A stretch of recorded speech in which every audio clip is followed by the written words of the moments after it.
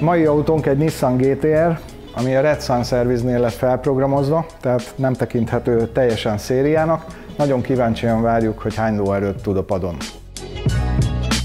Tényleg jól néz ki, ez egy tipikus japán motor, és tényleg figyeltek arra, hogy hogy még a, a dekor is szép legyen. Nekem nagyon szimpatikusak ezek a dolgok, amik nincsenek így leburkolva egy ilyen nagy, nagy fekete műanyaggal. Itt tényleg mindent lehet látni, a vezérlésállítót, a, a hangolt szívócsövet, ugye elektronikus folytószelepek vannak, teljesen két külön légszűrőház, Egyébként, ami különleges ebben a motorban, azt nem látjuk, mert a belseje, meg az, ahogy meg van csinálva alkalmi vétel volt, ez az apósomnak az autója volt, ő próbált megválni tőle, és ezért lett az enyém. Újonnan vette, végig vigyázott rá, egy karsz nem volt rajta, és így vettem én.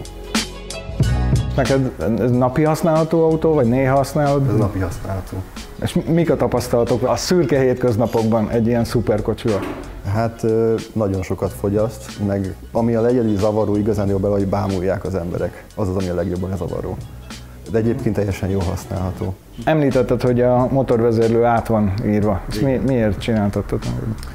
Ezt az ekuteket akartam bele, leginkább a váltó miatt, ugye a váltót is, meg a motort is felül lett írva. A váltó az nagyon buta benne gyárilag, és ezzel az ekutekkel viszont sokkal-sokkal jobb. Mit értesz az alatt, hogy buta a váltó? Amikor nem volt még rajta a program, akkor 80%-ban én kézzel váltottam a füleken, és 20-ban, amikor az autópályán mentem, akkor hagytam automatában, most teljes fordítva. Tehát ilyen túl korán felvált, nem vált időben vissza, tehát nagyon nagyon kellemetlen volt, most sokkal-sokkal jobb. Uh-huh. És amikor uh, átírták a vezérlőt, akkor így teljesítményben érezték különbséget? Vagy jobb hát lett? valamennyit igen, de azért így hétköznapokban nem nagyon kihasználható ez az autó, tehát már a gyári változatban sem lehetett igazándiból kiautózni rendesen. Amióta a kipufogózás hozzányúlt, egy kicsit sokkal hangosabb lett, tehát lóerőre nem tudom, hogy mennyivel lett több, de az emocionális lóerő az sokkal több lett. Uh-huh.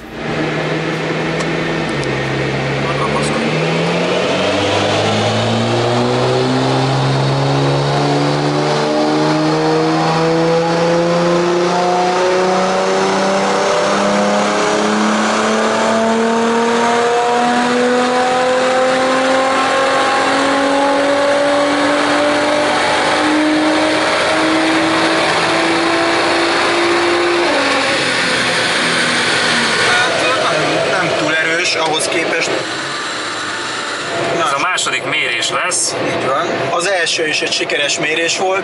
Van itt egy kollega, azt gondolja, hogy egy gyorsabb méréssel talán erősebb lesz az autó. Mit jelent a gyorsabb mérés? Kevésbé lesz megfékezve, tehát kisebb erővel fogjuk fékezni a kerekeket, ezáltal ugye gyorsabb lesz a mérés, gyorsabb lesz a lefolyása. Meglepne, ha erősebb lenne, de lássuk, ne legyen igazam, legyen erősebb, azt, azt kívánom. Indulunk.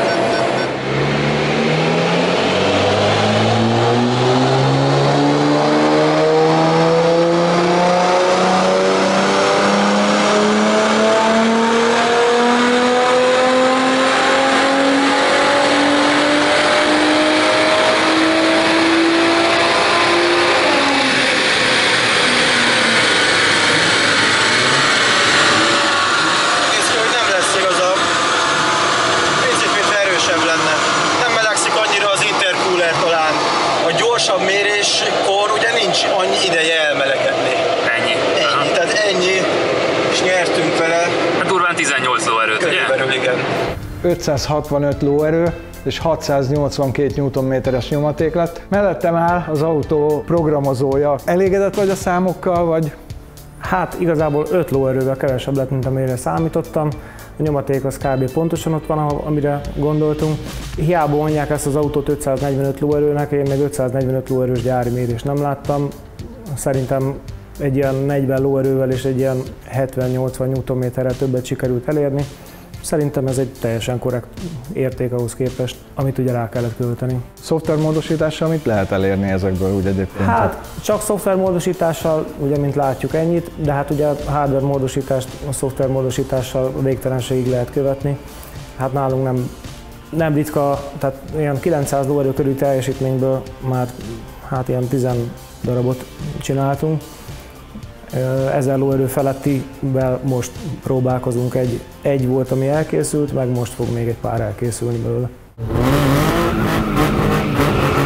Totalcar erőmérő különkiadásának következő autója ez a Honda NSX, de még számos különleges autó jön, iratkozzatok fel a YouTube csatornánkra.